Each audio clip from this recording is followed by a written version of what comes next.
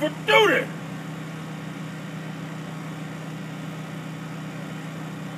Can I get it at ease, please? At At ease. Thank you. I'll come to you. In 1877, one year after the U.S. cavalry suffered its worst defeat at the Little Bighorn. But you already know about that. What you want to know is how and why I became a Buffalo Soldier. That's what they called us. Buffalo Soldiers. The white troops used to say,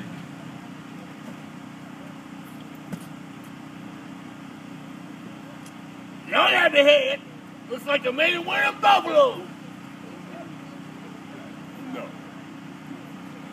Cheyenne Indians called us that out of respect. See, they revered the buffalo. And you better believe you do not want to back a buffalo in a corner.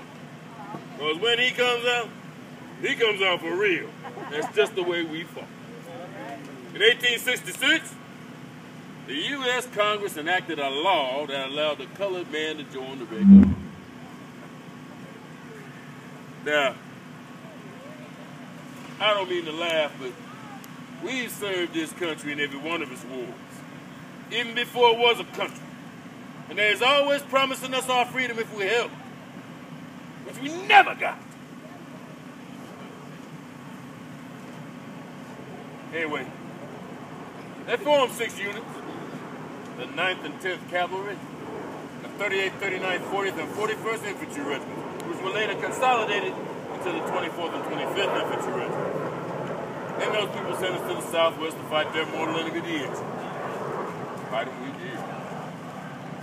My story, however, starts in 1847. That was the year I was born. Now, my mammy used to say, Remember the year you was born so they can put it on your tombstone. She was an optimist. Slaves didn't get no tombstone. A lot of times we was lucky to get a hoe. You probably drove over many an unmarked slave's grave on your way here today. Anyway, I was born on that Tyrell plantation in Louisiana. Big plantation, over 100 slaves. Run by old Massa. That is until the day he died while whipping my dad. On the third stroke, that man fell down dead. Overseers were afraid to pick up the whip. Slaves made such a fuss about it. White folks thought we was all trying to put some juju on it. my daddy, he was a Muslim. And that meant there's some things he just was not going to do. But he was a blacksmith and a wheelwright, the best one in the next 12 parishes, and that meant he had value. That meant he brought cash money onto that plantation. They didn't want to whip him. No. What they did, built a shanty next to the blacksmith barn for him to live in. That way, my mammy and my three brothers, we very seldom saw him, maybe once a week. It was really important for him to separate him from the rest of the slaves. Because he was a leader. Anyway, things got bad in the plantation now because young master took over. Old master's only his son. He didn't have nearly the heart nor the smarts of his daddy. Matter of fact, he had to have a special way to name his slaves. Now, when I came in here and introduced myself, that was not my first given name. No. My first given name was D. Just D. Remember I said I had three brothers? My oldest brother's name was A. Next brother's name was B. Next brother's name was C. And I was D. I told you that boy didn't have much in the way of smarts. Anyway, things got real nasty on the plantation when young master took a hankering after my mammy. But he was deathly afraid of my daddy. Somebody had to go. One day, stepped out to the big road and I saw the wagon leave. My daddy was in the back. He waved. I waved back. I seen him come back in that wagon many times. This time. This time that wagon.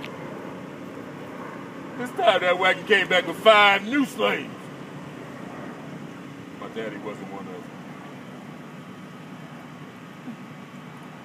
And I never saw him again.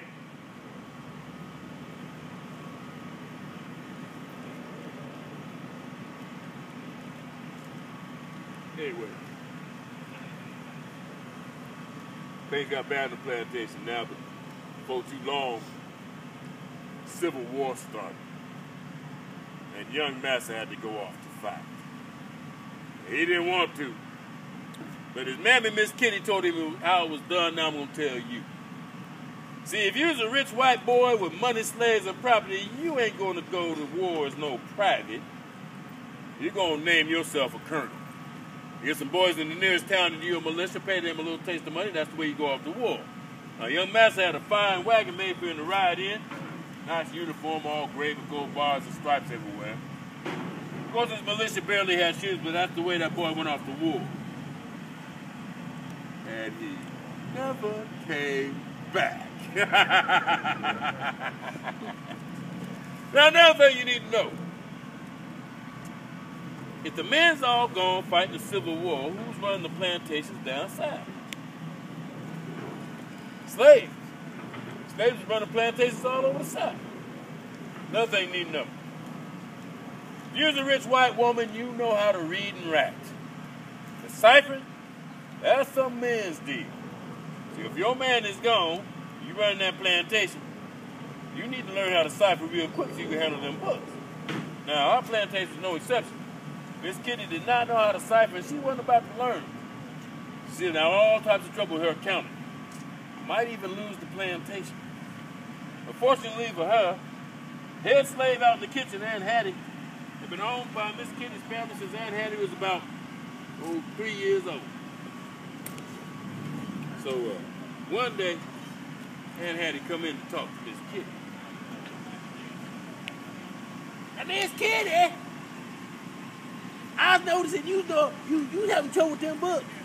Now, uh, it, it just so happens I, I, I know that there's a boy down the slave quarters that can cipher. Maybe you need to have him come up here and help you out.